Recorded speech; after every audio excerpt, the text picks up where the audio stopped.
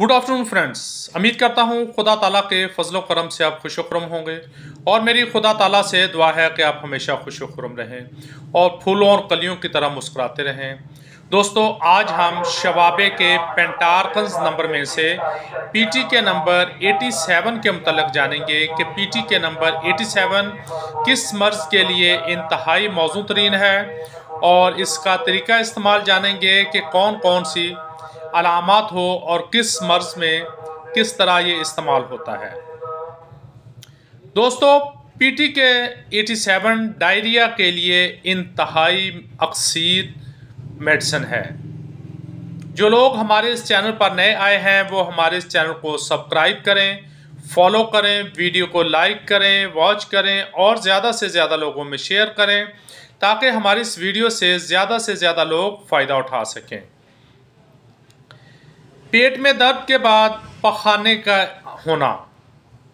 पेट में खचाव का होना, पतले पानी की माने पखाने आना, जिनके साथ तकलीफ़ हो, और जिसके बाद बेतहाशा कमज़ोरी का एहसास होना,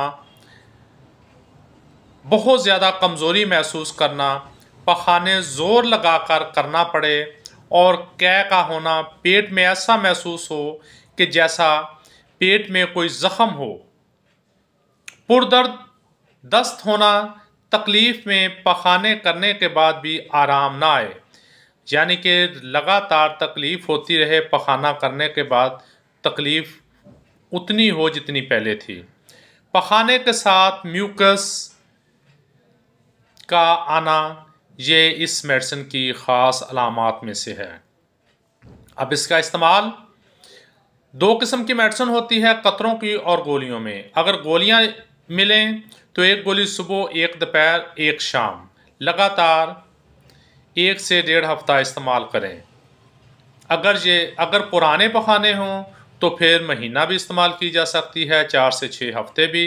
बीमारी के हिसाब से अगर थोड़ी देर हो मसन एक दो दिन हुए हों तो दो, तीन, चार, पाँच दिन में बिल्कुल आराम आ जाएगा।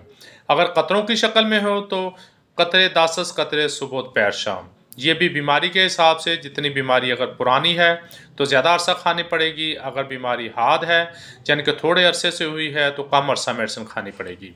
गॉड ब्लेस टू आप।